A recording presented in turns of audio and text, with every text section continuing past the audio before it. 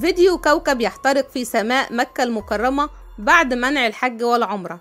هذا الفيديو غير حقيقي بالمرة.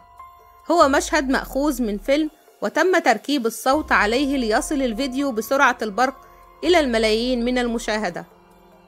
وهو فيديو بتقنية 7D تقنية الهولوجرام.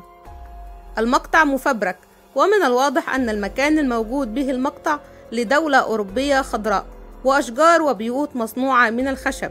بينما السعودية صحراء صفراء وعمارات مصنوعة من الطوب.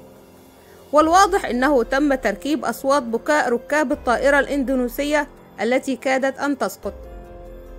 فما الداعي لنشر مقاطع مثل هذه؟ هل لحظ المشاهدات أم لدعوة الناس للتوبة والعبادة؟ فكلا السببين مرفوضين بالمرة. اتقوا الله ولا تربطوا بين أي مقاطع بالدين. حسبي الله ونعم الوكيل.